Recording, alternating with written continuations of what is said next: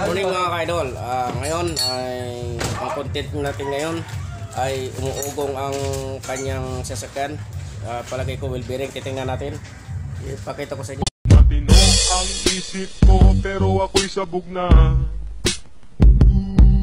Alam ko paano mag-trouble ng ano, ah, ugong ng sasakyan. Maugong. Ayan. Tingnan natin. Kailangan itaas natin. And itaas natin na siya. Itaas lang natin mga kaidol. Kailangan natin isang taas. Tapos paikot.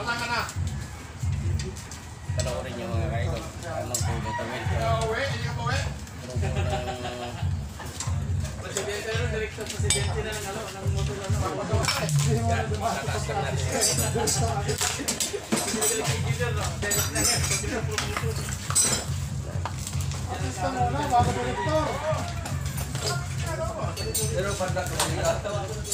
Yan, eh, taas lang natin mga ka-idol. Kaya lang taas na taas talaga. Ah, kasi paikutin natin. Paikutin natin. Yun ang pang-testing sa wheel bearing. Itaas mo siya, tapos paanda rin. Paanda rin siya nang ipapasok mo siya sa kwarta. Para hindi kusado yung pina. Yan. Ako na, ako na. Yan, titingnan natin ang final. Mag-ikutin na ko lang.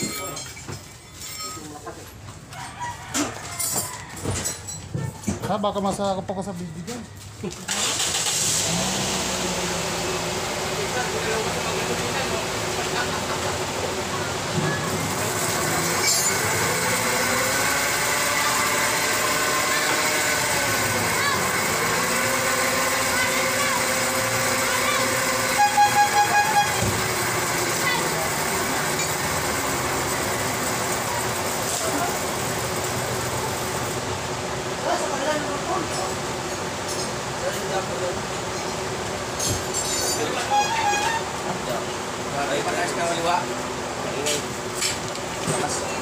Lilipat tayo sa kabila.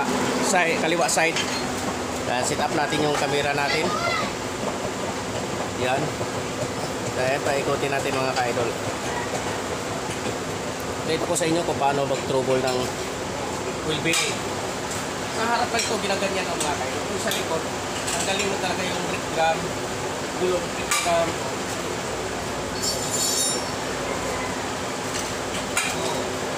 Ay, ito to. Ano ba yung capital mo? Okay ka. Ha? Kita na sa kamera. Kita na sa ano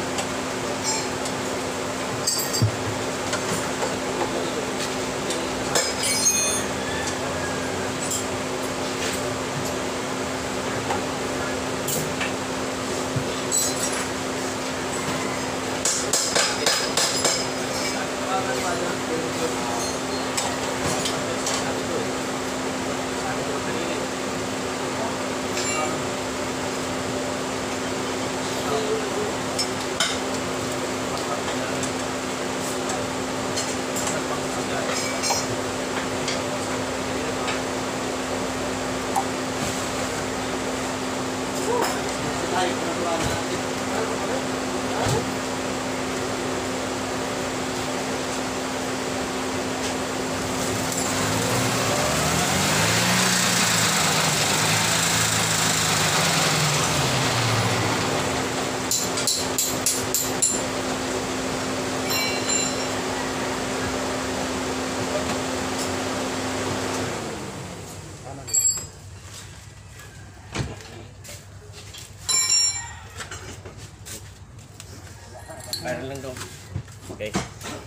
Ganun lang pag-testing mga ka-idol para malaman mo kung sira yung wheel bearing mo.